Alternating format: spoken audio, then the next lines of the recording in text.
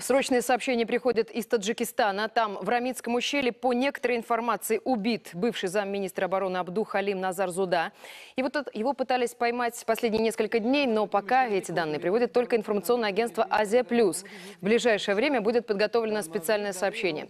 В Министерстве внутренних дел и в Комитете нацбезопасности республики пока сведения не подтверждают. Спецоперация в Таджикистане началась на прошлой неделе. Власти страны считают генерала мятежником, который руководил антиправительственной группировкой. Практически все ее участники уже ликвидированы или задержаны.